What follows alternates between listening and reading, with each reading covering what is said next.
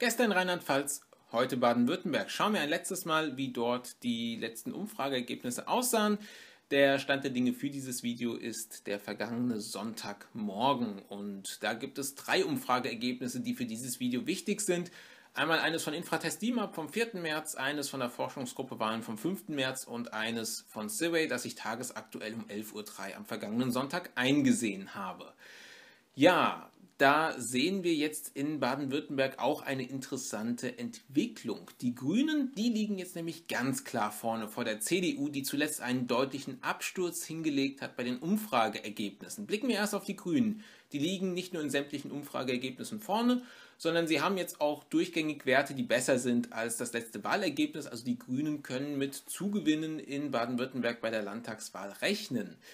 Und damit wird natürlich auch die Position von Winfried Kretschmann durchaus gestärkt, der ja sehr beliebt ist und im Vergleich auch zu seiner Herausforderin von der CDU, Susanne Eisenmann, deutlich beliebter ist. Die CDU, das habe ich ja eben schon gesagt, die hat ja einen deutlichen Absturz zuletzt hingelegt und man sieht auch hier den Unterschied zwischen den Februarwerten bei der Forschungsgruppe Wahlen und bei INSA und den Werten, die wir hier sehen bei Infratest DIMAP der Forschungsgruppe Wahlen und Sibway. Und gerade hier, man kann ja die Forschungsgruppe Wahlen miteinander vergleichen, ist es so, dass die CDU vier Prozentpunkte eingebüßt hat und das innerhalb eines Monats. Und damit muss die CDU nicht mehr nur rechnen, hinter den Grünen zu liegen wieder, sondern eben auch mit Verlusten aus dieser Wahl herauszugehen. Und damit steuert die CDU auf eine Enttäuschung und ja in gewisser Weise auch, wie man es in der Presse formuliert schon findet, auf ein Debakel zu. Also es sieht nicht gut aus für die CDU. Zwischenzeitlich hatte sie ja auch Hoffnung gehabt, wie in Rheinland-Pfalz stärker zu werden als die bei der letzten Landtagswahl jeweils stärkste Partei, aber jetzt von den Grünen ist sie doch gute 8 bis 10 Prozentpunkte entfernt und die CDU dürfte den Grünen überhaupt nicht gefährlich werden. Hinter den Grünen und der CDU gibt es da ein durchaus enges Rennen um den dritten Rang. Da kämpfen vor allen Dingen die AfD und die SPD drum, die FDP nur mit Abstrichen. Wenn wir zunächst auf die AfD blicken, dann sehen wir, dass die Partei eigentlich ziemlich konstant so bei 11% liegt.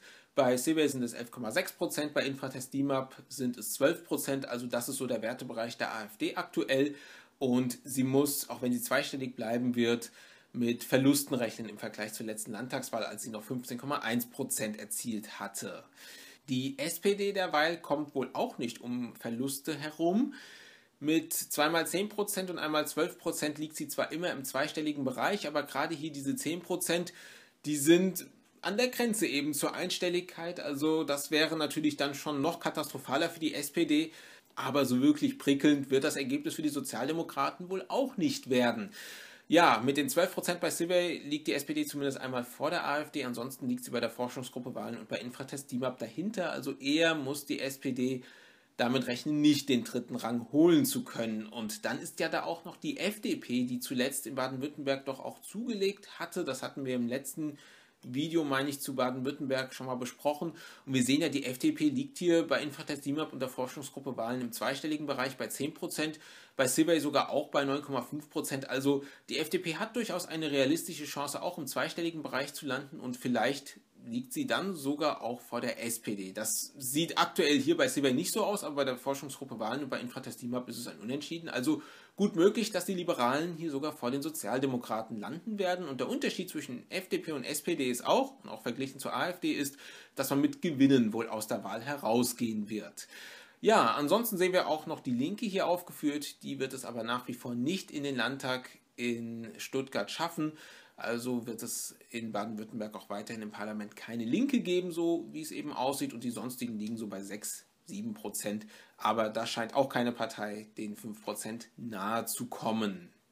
Ja, wenn wir jetzt diese drei Umfrageergebnisse nehmen, Infratest DIMAP, Forschungsgruppe Wahlen und Survey und daraus den Mittelwert bilden und das mal vergleichen mit dem Landtagswahlergebnis von 2016, dann kommen wir hier auf diese Darstellung der Gewinne und Verluste.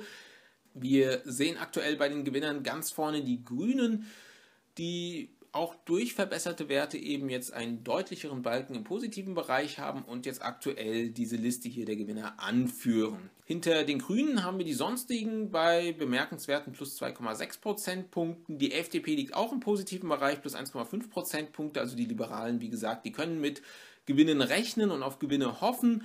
Und die Linke liegt zwar auch über dem Ergebnis von 2016, allerdings nicht so viel mit 0,7 Prozentpunkten und ja, am Ende reichen diese 0,7 Prozentpunkte nicht, um in den Landtag einzuziehen.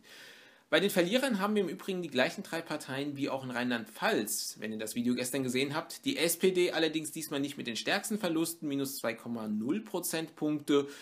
Die CDU kommt auf minus 2,7 Prozentpunkte und die AfD auf die aktuell größten Verluste, minus 3,6 Prozentpunkte. Aber gerade der Balken der CDU hat sich deutlich verändert, denn vor einiger Zeit, und das war noch nicht so lange her, da lag dieser Balken im positiven Bereich und jetzt ist er doch deutlich im negativen Bereich. Also die CDU läuft aktuell Gefahr, sowohl in Rheinland-Pfalz als auch in Baden-Württemberg Klatschen zu erleben und damit zu einer der größten Verliererinnen bei den beiden Landtagswahlen zu werden. Und das wird dann auch sicherlich zu Diskussionen auf Bundesebene führen. Und ich schätze mal, dass die Verluste der CDU in Baden-Württemberg eben auch darauf zurückzuführen sind, dass eben doch jetzt mehr Menschen noch unzufrieden sind mit der Corona-Politik der Bundesregierung. Und da hatte ich es auch schon gestern im Video gesagt, auf Bundesebene hat ja die Union auch jüngst an Zustimmung verloren und ja, das scheint hier auch auf Baden-Württemberg abzufärben. So, schauen wir jetzt auf die Sitzverteilungsprognose und die Koalitionsoptionen.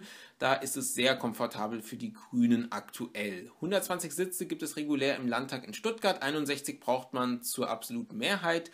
Mit diesen Schnittwerten kommen wir bei den Grünen auf 45 Mandate. Die CDU folgt mit 33 Sitzen und dann folgen die AfD mit 15, die SPD mit 14 und die FDP mit 13 Sitzen jeweils.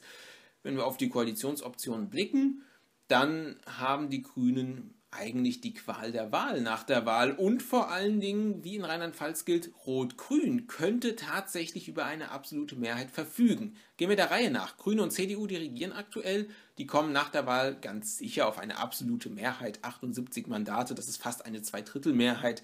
Also da wird nichts anbrennen. Die Regierung, die aktuell regiert, die könnte weitermachen. Aber die Frage ist, wollen das die Beteiligten und die Grünen, die wollen ja eigentlich lieber mit der SPD koalieren. Deswegen gibt es ja auch immer wieder die Erwähnung, dass und die Nennung, dass die Grünen in eine Ampelkoalition treten könnten in Baden-Württemberg zusammen mit SPD und FDP. Anders als vor fünf Jahren scheint das auch realistisch her zu sein oder realistisch zu sein. 72 Mandate hätte diese Koalition, also das wäre auch eine sehr klare und satte absolute Mehrheit. Nicht ausgeschlossen ist eben aber auch, dass Rot-Grün eine absolute Mehrheit haben wird. 59 Mandate sind es ja hier. Aktuell 61 braucht man zur absoluten Mehrheit. Ja, und zum Beispiel bei der Forschungsgruppe Wahlen habe ich das mal ausgerechnet. Rot-Grün hat genauso viele Prozente wie hier FDP, CDU und AfD zusammen. Also es ist nicht so undenkbar, dass am Ende Rot-Grün bei rauskommen könnte. Eine schwache, aber wohl dann vielleicht sogar vorhandene absolute Mehrheit. Also Rot-Grün wäre auch eine Option. Und ich glaube, dann ist es ziemlich klar, wenn die Grünen die Wahl haben zwischen einem Bündnis mit der CDU oder mit der SPD, wenn beide eben zur absoluten Mehrheit reichen werden, dann werden die Grünen mit der SPD zusammen regieren. Für die CDU hat sich die Situation nun drastisch verschlechtert. Durch diese deutlich verschlechterten Werte der CDU ist es so, dass es aktuell noch nicht mal für eine sogenannte Deutschlandkoalition reichen würde. Allerdings, das kann auch sein, dass es am Ende doch knapp reichen wird. 60 Mandate vereinigt diese Koalition aktuell auf sich. Das reicht eben nicht für die absolute Mehrheit, aber schon ein Sitz mehr würde ja dazu reichen. Also die Deutschlandkoalition kann dann schon realistisch noch zu einer absoluten Mehrheit kommen am Sonntag. Aber ich glaube nicht, dass CDU, SPD und FDP zusammenfinden werden. Das halte ich doch für ziemlich unwahrscheinlich. Und so kann man insgesamt sagen, hat Winfried Kretschmann doch sehr, sehr gute Chancen, sein zehnjähriges Jubiläum als Ministerpräsident von Baden-Württemberg feiern zu können. Nach der Wahl haben die Grünen, so sieht es doch jetzt aus, die Wahl, ob sie mit der CDU weiter regieren möchten oder ob sie den Koalitionspartner austauschen möchten. Vielleicht reicht es ja eben mit der SPD zusammen zur absoluten Mehrheit, dann wird das auf jeden Fall eingegangen werden. Ansonsten könnte man ja auch unter Hinzuziehung von SPD und FDP eine Regierungskoalition bilden. Und ja, da ist die Frage, finden die drei zusammen? Das ist eine andere Frage, aber wir können mal festhalten, die Grünen werden wohl nicht das Amt des Ministerpräsidenten hergeben. Und das soll es also zu diesem Video gewesen sein.